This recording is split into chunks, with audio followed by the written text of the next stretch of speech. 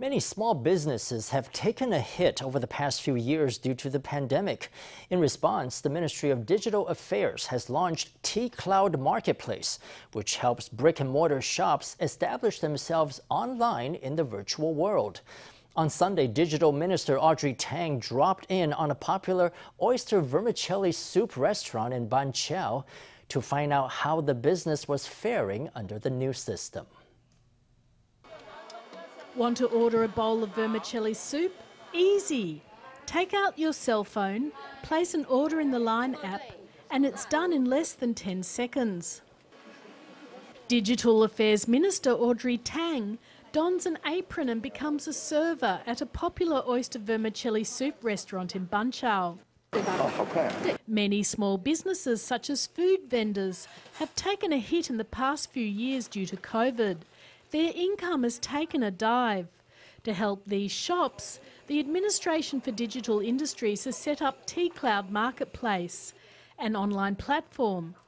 Not only can you place meal orders and telecommute on it, businesses can also purchase cloud solutions and apply for government subsidies. Now, more than a year after the platform's launch, Minister Tang is visiting businesses that have joined the program to see the results. When we introduce any digital transformation tools, the most important aspect is our friends on the ground and whether they're having an easier time and peace of mind. I experienced the whole process just now, and it was indeed labor saving and reassuring. I think when it comes to digital transformation, the first step is the most important one.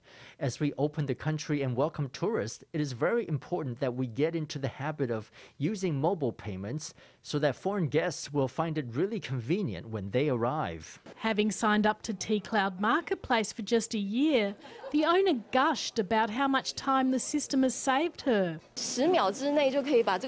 Within 10 seconds, we get the order. Compared with taking a phone call, which takes about three to five minutes, the difference is huge. And since the information on it is very clear, we don't need to verify information with the customer.